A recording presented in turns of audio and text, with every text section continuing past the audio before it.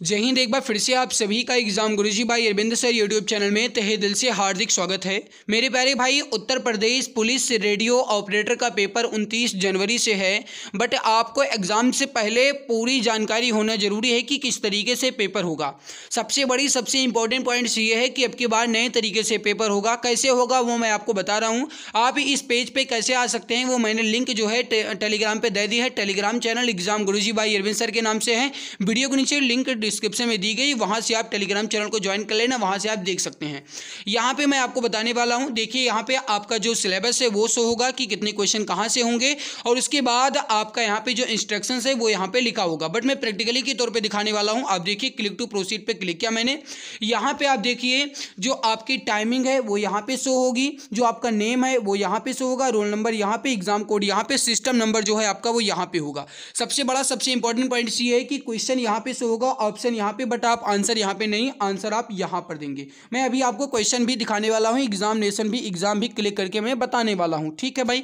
और यहाँ पे आप देखिए इंग्लिश का लैंग्वेज जो आप यहाँ से चेक कर पाएँगे, अपना जो साइज़ है, वो यहाँ से घटा बढ़ा सकते हैं। मैं आपको पहले एग्ज़ाम जो है, वो दिखा देता हूँ, ठीक है?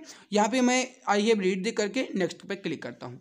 देखिए, आपके सामने मानकर चलिए कि एग्ज़ाम आपका शुरू हो चुका है। इस तरीके से आपका होगा। यहाँ पे आपका लोगो दिख रहा है, यूपी पुलिस भर्ती बोर्ड का। यहाँ पे आपका जो फ़ोटो है, वो दिखेगा। जब आप एग्ज़ाम में जाएँगे, आपका फ़ोटो वहाँ पे लिया जाएगा। वही फ़ोटो आपका यहाँ पे होगा, ठीक है?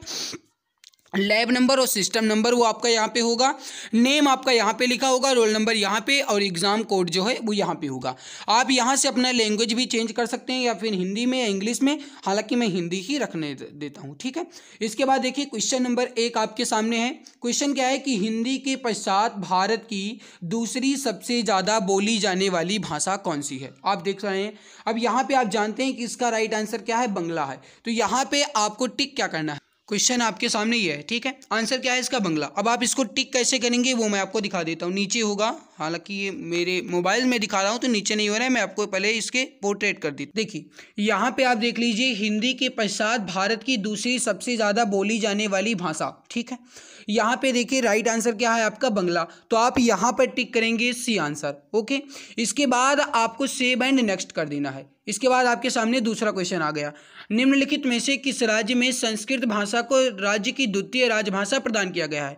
आप इसका आंसर नहीं जानते हैं। मान लेता हूँ। आप अगर इसका आंसर नहीं जानते तो आप नेक्स्ट करेंगे। आपके सामने क्वेश्चन नंबर तीन आ गया। भारत की किस भाषा को इटालियन ऑफ़ द ईस्ट कहा जाता है? मान लीजिए कि आप इसका आंसर बाद में देना चाहते हैं तो आप mark and mark for review कर देंगे और उसके बाद आप सेवन नेक्स्ट कर देंगे। आपके सामने क्वेश्चन नंबर चार आ गया कि भाषा के संबंध में हिंदी शब्द का प्रयोग सबसे पहले किसने किया? आप इसका आंसर जानते हैं अमीर खुसरो। आप अमीर खुसरो के लिए ऑप्शन ए टिक करेंगे, उसके बाद सेव एंड नेक्स्ट कर देंगे। मान लीजिए यहाँ पे कि आपने जो क्वेश्चन ये अमीर खुसरो वाला किया है, आपने गलती से ऑप्शन ए टिक कर दिया है। आप इसे हटाएँगे कैसे? इरेज आंसर कर देंगे, आपका आंसर जो है यहाँ से हट जाएगा, ठीक है? और आप जो भी आंसर करेंगे, वो यहाँ पर आपका शो होता रहेगा। और इस तरीके से आप अपने चौबीस क्वेश्चन कर पाएँगे, और यहाँ पे देख लीजिए पूरा सेट भी दिया गया है। अब मान लीजिए कि आप इसका आंसर डी क्लिक करते हैं सेव एंड नेक्स्ट करने के बाद आपके सामने आ जाएगा कि आपने पूरा क्वेश्चन जो है कंप्लीट कर लिया है। अब आ जाएगा कि जो एग्ज़ाम है, वो सेव कर लीजिए, ठीक है? तो यहाँ पे मैंने आपको बता दिया मेरे प्यारे भाई आई होप ये आपको पता चल गया होगा। ये जो लिंक है चौबीस क्वेश्चंस की, आप ये मैंने टेलीग्राम पे भेज दिए, वहाँ से आप चौबीस के चौबीसों क्वेश्चंस को एक बार देख ज़रूर लीजिएगा। और आप यहाँ से जो साइज़ है, वो बढ़ा सकते हैं, घटा सकते हैं। जैसे ये साइज़ मान लीजिए आपको छोटा लग रहा है तो आप इसे बढ़ाएँगे कैसे? जो यहाँ पर दिख रहा है ए प्लस इस पर आपको टिक करना है और ये बढ़ता हुआ चला जाएगा, इतना बड़ा होगा, ठीक है? और अगर ये छोटा करना है तो आप इस पर क्लिक कीजिए, ये छोटा हो जाएगा। जैसे मैं क्वेश्चन देख लेता हूँ, कोई क्वेश्चन जो रीजनिंग के क्वेश्चन हों, वो मैं दिखाने की कोशिश करता हूँ। शायद नहीं है क्या?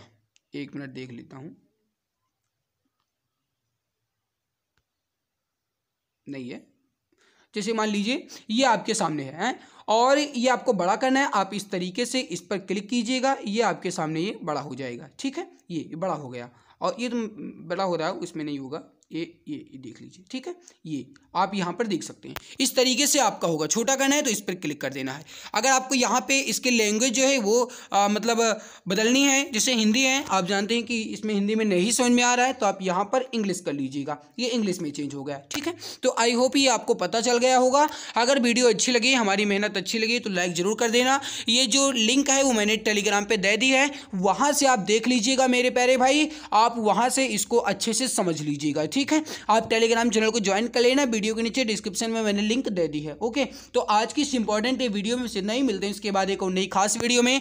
तब तक के लिए खुश रहिए, मुस्कुराते रहिए बट थोड़ा सा एक और निवेदन है कि भाई सपोर्ट कर दीजिए क्योंकि आपके लिए हम इतनी मेहनत कर रहे हैं। तो आपकी ज़िम्मेदारी बनती है कि आप हमारा सपोर्ट कीजिए ताकि मैं आपको और भी बेहतरीन क्लासेस दे पाऊँ, आपकी मैं और भी मदद कर सकूँ। तो आज की इस इंपॉर्टेंट बेहतरीन, लाजवाब वीडियो से नहीं मिलते हैं। इसके बाद एक उन्हें खास वीडियो में आपके एग्ज़ाम्स के लिए बेस्ट ऑफ़ लक आपका एग्ज़ाम बहुत अच्छा होगा। बस आपको अपने अंदर तत्परता बनाए रखना है, अपने अंदर जोश बनाए रखना है मेरे प्यारे भाई। बाकी तो माता सरस्वती जी का आशीर्वाद है, आपका एग्ज़ाम बहुत अच्छा होगा, ठीक है?